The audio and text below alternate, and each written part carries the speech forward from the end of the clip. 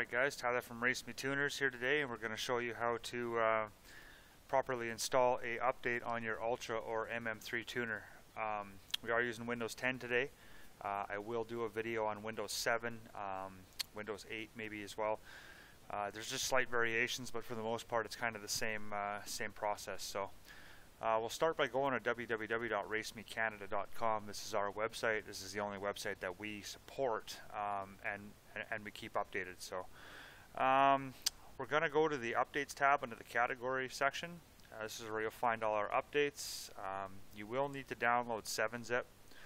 Um, this is used to uncompress the files that you download. We uh, we have them in .7z format, and we use 7zip because 7zip is free. So um, it's just a one-time download. You just have to go to the uh, click on the link. It'll take you to the website. They offer two options. Um, most of the newer computers are going to be 64-bit, but uh, if you're not sure, just go down to the Start menu, uh, click on File Explorer.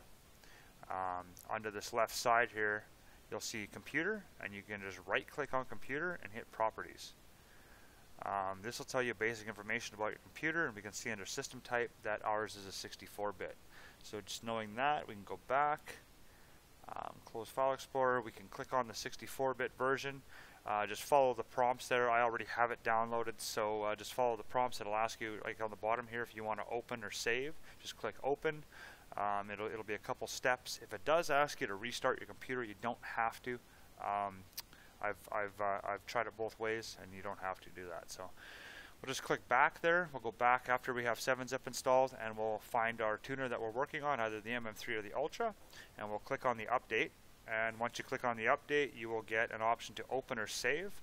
Um, you can click on either one. If um, when it's done, it's going to show you this bar on the bottom um, and we'll be able to open it from there. You'll be able to view your downloads folder from there and if this happens to go away you can always click on Start, File Explorer, and you can click on Downloads and all your downloads that you've ever downloaded will probably show up in your store. It'll probably be very populated but you just find the one you just downloaded, click on that and you should be good. So we'll show you from here. Um, our download has been completed. We'll click on Open um, this is opening up in Windows, but it is using 7-zip to open. So these are the five files we're going to put back on the card. Okay. So for now, we're just going to leave that alone. We're going to uh, go to Start. I'm going to go to File Explorer. And uh, when you plug your card in, it should show up on this left side here at race me underscore u, right? So what we're going to do is um, th here's the same five files that we just downloaded if you see this program pro, uh, this is a program protocol file. Um, the tuner creates this whenever you download. It's just a record of your downloads, eh, uh, just in case we uh, we uh, need some information for diagnostic purposes.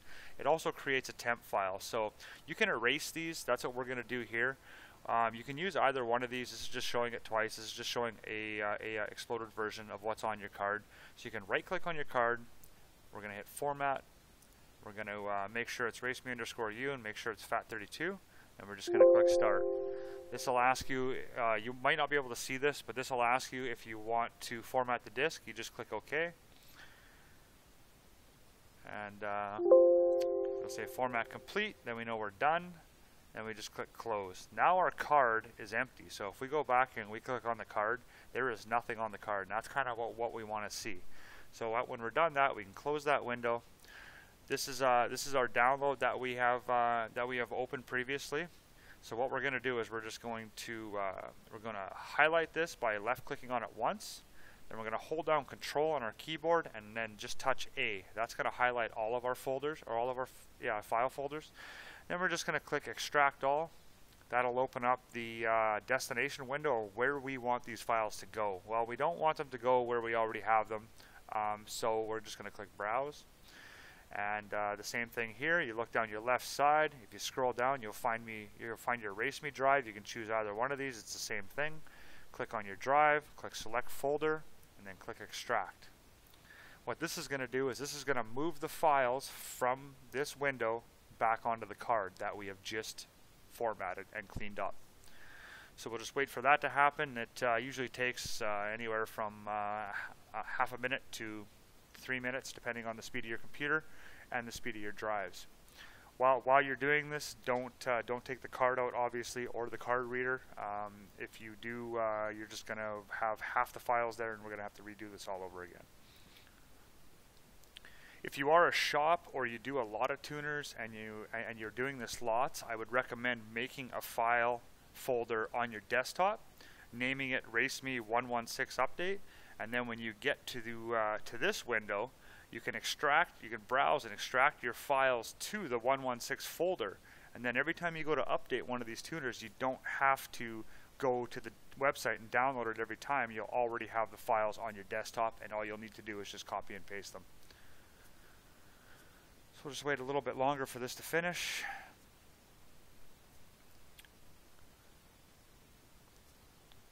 One of the other things that's very important to do with our uh, with our um, current card readers is when you pull the card out sometimes that card can turn a little bit sideways and if that drive that, that the card that the card reader is still plugged into is still active it tends to corrupt the files on the card. So what we recommend doing is when you are done come down to your taskbar here click on your up arrow find your find your uh, safely remove hardware and eject media button click on that and then safely eject your drive. That'll shut the drive off for you and then you won't have a problem with corrupted files.